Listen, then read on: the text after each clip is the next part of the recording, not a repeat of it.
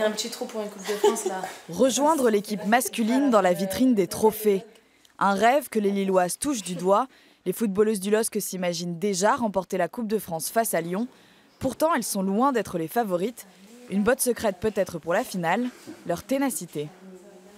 C'est les valeurs du club, les valeurs euh, de l'équipe, tout ce qu'on a pu construire sur cette deuxième partie de saison, garder les, toutes les choses positives, toutes les, tous les matchs à, à sensation, forte, à sensation forte pardon, qu'on a pu avoir, les retournements de situation, les buts à la dernière seconde.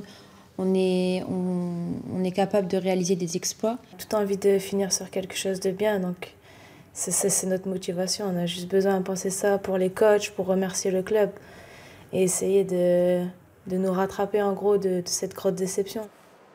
Car ce match aura un goût de revanche. Samedi dernier, elle perdait 3-2 face à Montpellier, une défaite qui les relègue en deuxième division, deux ans seulement après avoir rejoint l'élite. Pour la finale, les joueuses du LOSC vont devoir reprendre leurs esprits. Invaincues cette saison, les Lyonnaises sont les grandes favorites de cette compétition.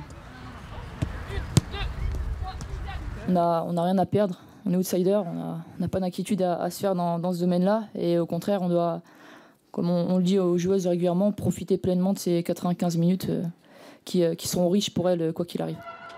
Au tour précédent, un seul but avait suffi pour battre le Paris Football Club.